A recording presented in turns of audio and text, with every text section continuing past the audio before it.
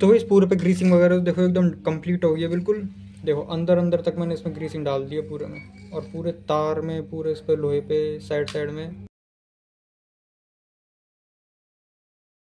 So hello भाई, मैं हूँ आपका दोस्त हर्ष। और भाई, आज की इस वीडियो में है ना, मैं करने जा रहा हूँ इस गाड़ी की पावर विंडो की सर्विसिंग ठीक है? तो सर्विस करने का कुछ मेन रीज़न ये है, ये थोड़ी सी जाम जाम से चल रही है। जो शीशा है ना इसके थोड़ा सा धीरे नीचे जाता है, धीरे ऊपर जाता है, ये प्रॉब्लम हो रही है इसमें। थोड़ी ग्रीसिंग वगैरह करेंगे इसकी। और जो इसकी मेन जो एक प्रॉब्लम मैं बता रहा हूँ ना, वो है इसका ये बटन ठीक है? ये मान लो जैसे मैंने शीशा ऊपर करा तो ऐसे करके नॉर्मल ऊपर हो गया, छोड़ दिया, ठीक है? लेकिन जब मैं नीचे करता हूँ ना ऐसे देखो मैंने नीचे करा तो ऐसा का ऐसा ही रह गया। ठीक है?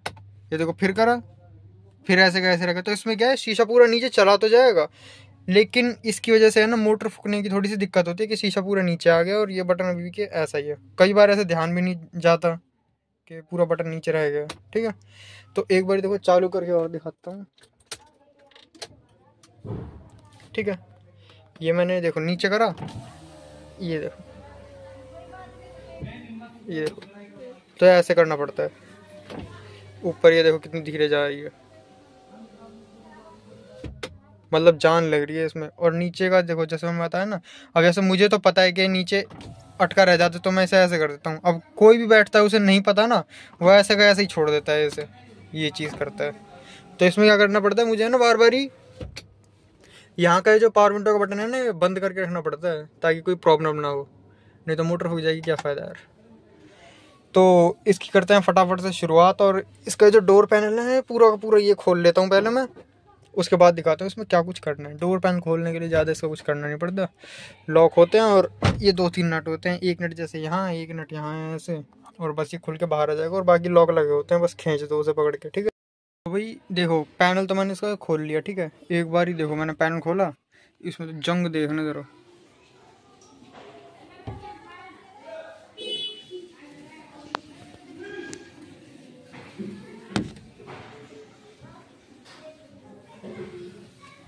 मतलब दरवाज़ा गल के बिल्कुल ये ख़त्म पड़ा है।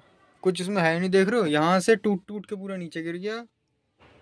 वो पूरा में जंग देख लो, नीचे तो पूरा पूरा गला पड़ा है, जिसे बोलते हैं ना, ये देखो।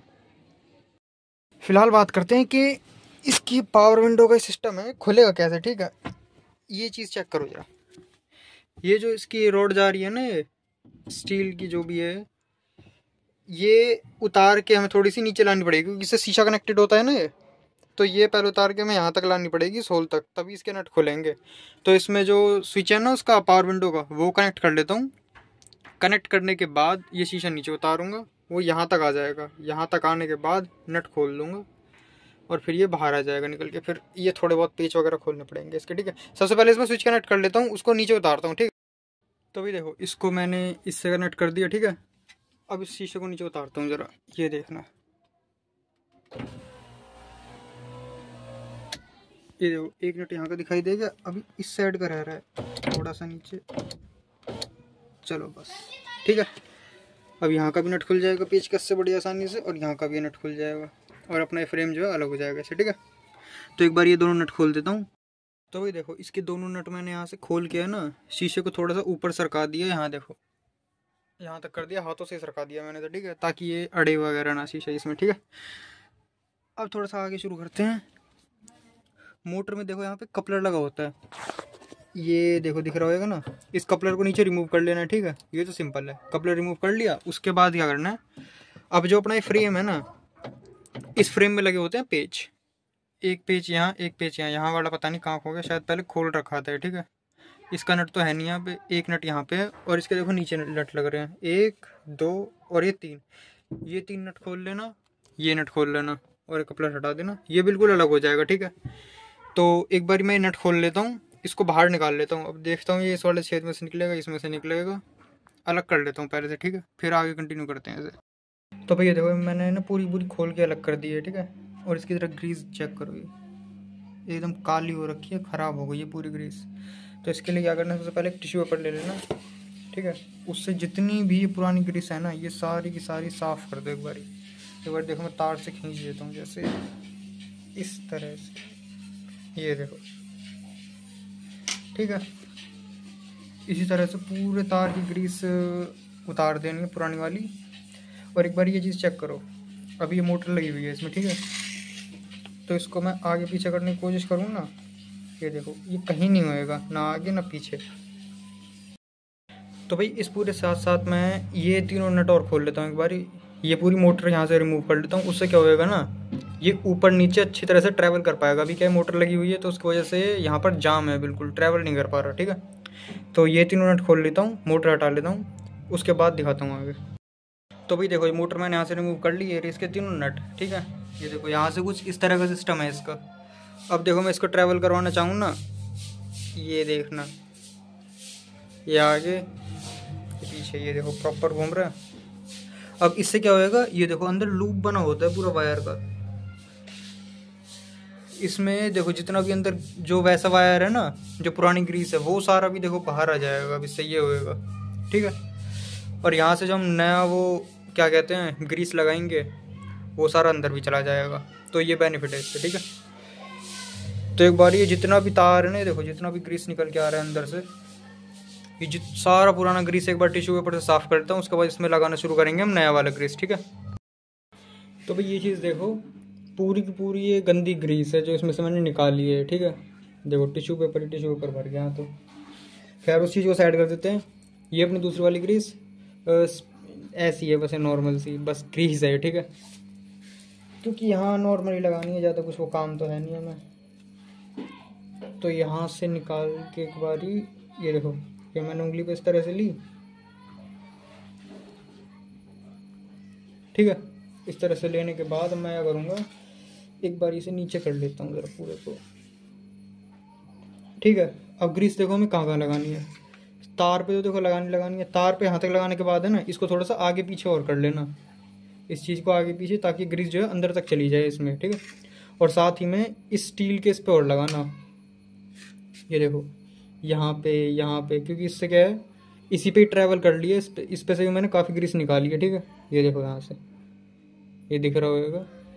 इस पूरे पे ग्रीस लगानी है हमें लेकिन सिर्फ़ साइड साइड में, इस इस जगह पे, जहाँ अपना प्लास्टिक का सामान ट्रेवल करेगा, ठीक है? तो एक बार मैं ज़रा तार पे लगा देता हूँ। ये देखो कुछ इस तरह से।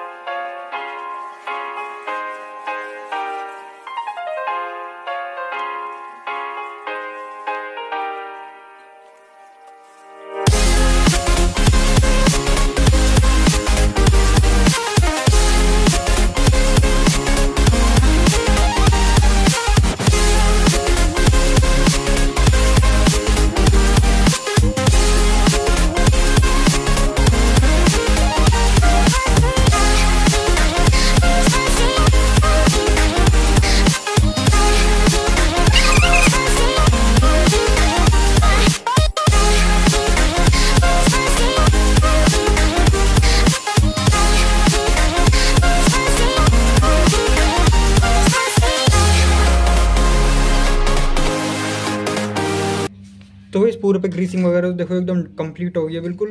देखो अंदर अंदर तक मैंने इसमें ग्रीसिंग डाल दिया पूरे में। और पूरे तार में, पूरे इस पर लोहे पे साइड साइड में, जहाँ जहाँ ज़रूरत थी ना, वहाँ पूरे में मैंने अच्छी तरह ग्रीस कर दिया, ठीक है? अब मैं क्या करता हूँ, एक बार ये मोटर जो है, इसको वापस इसी में सेट करके गाड़ी में सेट कर देता हूँ, ठीक है? तो भाई, इसकी तो कंप्लीट एकदम काम हो गया, जो इसका होना था, ठीक है? ग्रीस वगैरह अच्छी तरह लगा दी अब एक बार स्विच को और चेक करता हूँ, उसमें क्या दिक्कत आ रही है? तो भाई एक बारी स्विच की और चेकिंग करते हैं, इसमें क्या दिक्कत आ रही है? ठीक है, क्यों ऐसे नीचे अटक जाते हैं? जैसे कि अब अटक गया। ठीक है तो इसको खोलते हैं बराबर से। तो ज़्यादा कुछ इसमें है नहीं, थोड़े छोटे मोटे से लॉक होते हैं, इसे खोलते ही बाहर आ जाएगा। तो ये देखो, इसमें से ये तो मैंने निकाल लिया, स्विच बिल्कुल अलग कर लिया, ठीक है। अब इसको देखो, मैं अगर कर रहा हूँ ना नीचे देखो, कोई दिक्कत नहीं आ रही। ठीक ही लग रहा है मुझे तो। फ्लैश ऑन कर देता हूँ। ये देखना ज़रा। पता नहीं क्या इसी में ही अटक रहा है, क्या दिक्कत है। ये देखना। यहाँ से भी ठीक लग रहा है मुझे, कोई दिक्कत लग नहीं रही। ऊपर कर रहा हूँ। ठीक। नीचे कर रहा हूँ, ठीक। और एकदम प्रॉपर चटक चटक आवाज़ आ रही है। यूँ भी नहीं अटक रहा हम्म, क्या दिक्कत है। खैर यहाँ से है ना देखो मुझे कुछ स्क्रैच नज़र आ रहे हैं ये देखो। ये देख रहे हो ये घिस रहा हो जैसे। और सेम यहाँ पर भी ये देखो ये देखो। तो आई थिंक ये जो है ना बटन ये स्विच इसी में अटक रहा है साइड की तरफ़ से। तब यहाँ पर ये घिस रहे हैं और ये यहाँ से इसका ये घिस रहा है। ठीक है?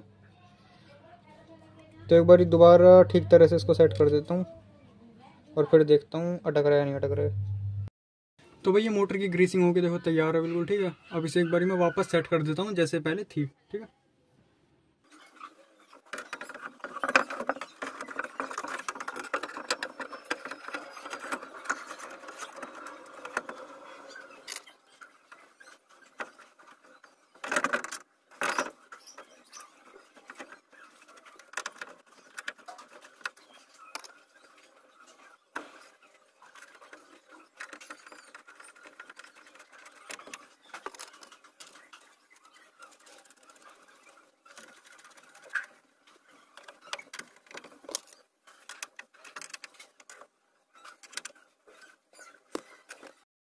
तो भाई ये फ्रेम वगैरह में तो पूरा सेट हो गया। अब एक बार ये जो मोटर का इसका कपलर है ना, कपलर और इसमें लगा देता हूँ। उसके बाद शीशे को नीचे करके शीशे को और कस दूँगा, ठीक है?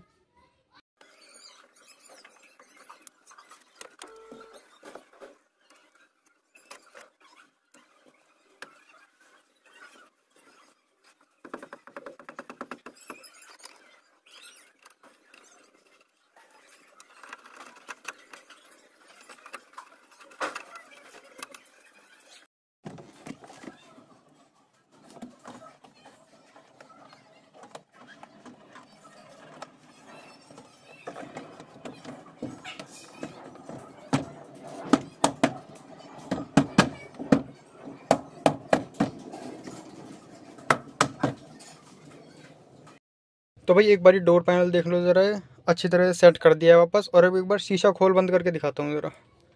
ये देखो, खोला। ठीक है। ये देखो, ऊपर जाते हुए। पहले से स्पीड तो देखो बढ़ गई है। नीचे जाने की बढ़ गई, ऊपर वाले, ऊपर की तरफ़ जाने की भी बढ़ी है, लेकिन उतनी नहीं बढ़ी। ठीक है देखो देखो, नीचे आएगा। देखो कितनी जल्दी खुल गया, और वहीं ऊपर लेके जाऊँ। तो वो थोड़ा सा कमज़ोर है, पहले से तो तेज़ है, लेकिन थोड़ा सा है।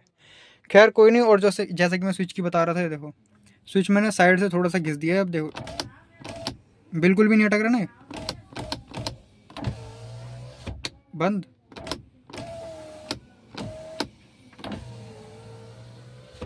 तो ये हो गया भाई, स्विच भी अपना ठीक हो गया उससे क्या मोटर वगैरह कुछ नहीं फूगेगी, और इसकी भी सर्विस कर दी मैंने शीशे की। तो भाई, ये इतिहास की वीडियो। वीडियो अगर आपको अच्छी लगी हो तो वीडियो को लाइक कर देना, चैनल को कर देना, सब्सक्राइब मिलते हैं और नई वीडियो में। तब तक के लिए गुड बाय।